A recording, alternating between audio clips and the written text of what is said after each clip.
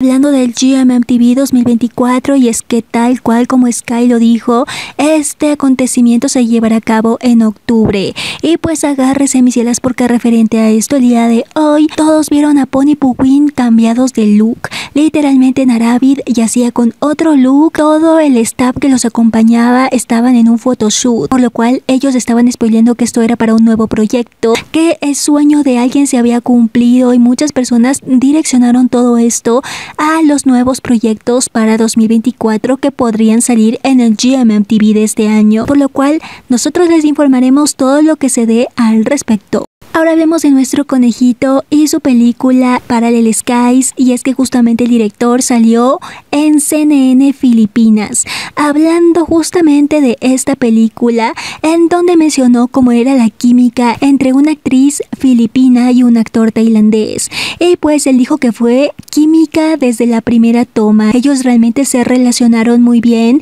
y todos en esta parte mencionaron que la barrera del idioma fue algo crucial. Win es un excelente hablante en inglés y recordemos que en Filipinas también se habla este idioma. Es decir, que esto contribuyó muchísimo a que los dos actores puedan comunicarse de una manera óptima. Sobre la película se les preguntó si va a haber alguna plataforma de streaming para verlo y pues el director dijo que la película es de alta calidad, por lo cual están hablando con diferentes plataformas para que no solamente esta película se vea para los fans de Janela en Filipinas, sino a nivel internacional por Win, por lo cual se prevé que sean plataformas como View, Ikiji, etc cosas que el tiempo responderá, por lo cual el director mencionó que esta película saldrá oficialmente en 2024. Y pues si ustedes no conocen la sinopsis de Under Parallel Skies, pues quiero decirles que esta relata la trágica historia de un hombre que pierde a alguien muy importante y pues su futuro es súper sombrío hasta que alguien de ese mismo pasado ingresa a su presente. Y pues aquí existe la dubitativa entre elegir un futuro o quedarse viviendo en el pasado. Este también relata cómo es la relación relaciones interculturales a pesar de las diferencias entre países. Y pues sí, mis es una historia muy interesante que veremos en 2024, así que es algo que nosotros no nos podemos perder. Ahora hablemos de Mansuan y es que justamente mis cielas, la película ya entró en el topic de IMDb, que viene siendo el mayor calificador de películas y series a nivel mundial, obteniendo una calificación de 9.3. Y pues agárrense en que eso no es todo porque el CEO de Beyond tuvo una entrevista con JQ en donde se le preguntó si Mansuan puede llegar a convertirse en una serie. Y pues escuchen bien, el CEO de Beyond mencionaba que justamente muchos de los personajes que aparecen el Mansuan en la película solamente tienen conocimientos en lo musical, en su talento, es decir, él se refería a los bailarines que son el apoyo de Mayla, Potón, etc. Ellos dijeron que jamás han pisado un proyecto como lo sería una serie, por lo cual él espera que muchas personas les den la oportunidad de este tipo de talento, no solamente de salir en aspectos musicales, sino también en aspectos actorales, porque serían una gran contribución al mundo de las series. Sobre Mansuan,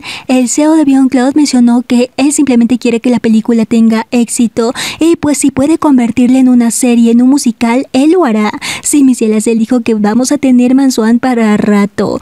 Sobre el CEO de Cloud del día de hoy, fue visto abrazando a Woody y también al director o al dueño de Fit Tailandia, por lo cual muchas personas sienten que de ahora en adelante Mansuan también tendrá muchísima participación en entrevistas y también en eventos por parte de Fit Tailandia porque ellos fueron exclusivamente a ver al CEO de Beyond Cloud y a los actores principales. Por lo cual esto nos deja en claro lo importante que está haciendo Mansuan a nivel tailandés y que sin duda estamos muy orgullosas de este proyecto y sin duda les informaremos más al respecto.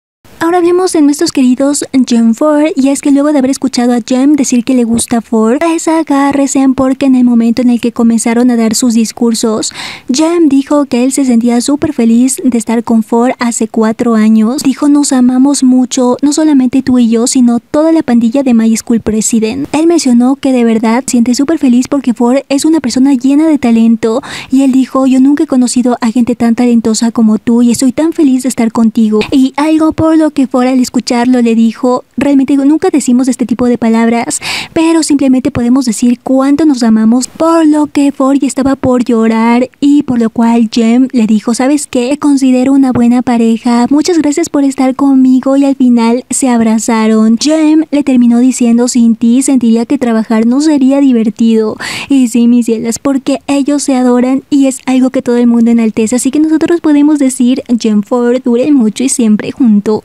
Ahora hablemos de Barcode y es que luego de haber terminado ya de filmar su serie en Corea del Sur, pues muchas personas estamos poniendo una vela en el altar para ver si esta serie vamos a verla a inicios del 2024. Recordemos que el estudio Hamyan mencionó que van a hacer todo lentamente para sacar obras de calidad, por lo cual la fecha de estreno de Yuhu Bakery es incierta.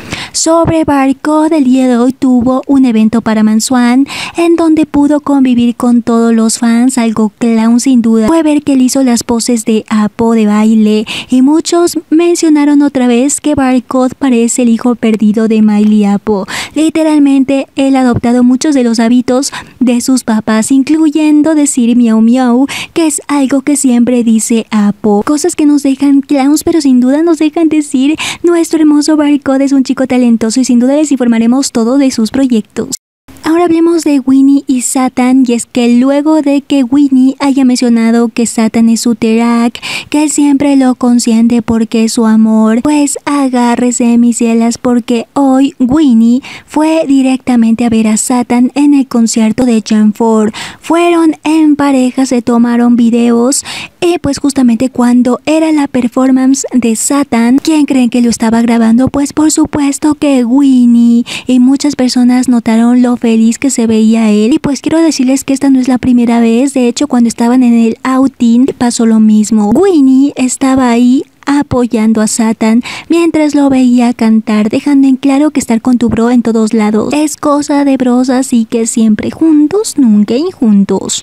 Ahora hablemos de New y es que mis cielas vamos en el Q4 de grabación de Cherry Magic por lo cual han salido más imágenes respecto a las grabaciones en donde ya vemos un poco de las interacciones de los personajes de New. Vemos que esta serie se prevé salga a finales del 2023 por lo cual todos los fans se sienten súper ansiosos y felices de ver este gran regreso de nuestra querida pareja así que sin duda les informaremos todo lo que se dé al respecto. Y vamos a terminar estas noticias hablando de Boom y Au. Y es que luego de ver a Boom totalmente feliz porque Au estaba ahí sin ropa en su casa, pues quiero decirles que eso no era todo, mis cielas, porque agárrense. El día de hoy los dos publicaron al unísono que estaban en el concierto de John Ford, no estaban separados mis cielas porque todos los fans notaron que ellos dos estaban sentados abajo de donde estaba Win y su hermano. Sí, mis cielas, los dos fueron en pareja y fueron tan en pareja que se fueron juntos al baño a grabar esta Instagram story que luego subió a U. Sí, mis cielas, todos recalcaron que donde estaban grabando era un baño y sí, mis cielas, porque irte con tu bro al baño es cosa de bros y pues por supuesto nosotros podemos decir, boom, au, duren mucho y siempre juntos.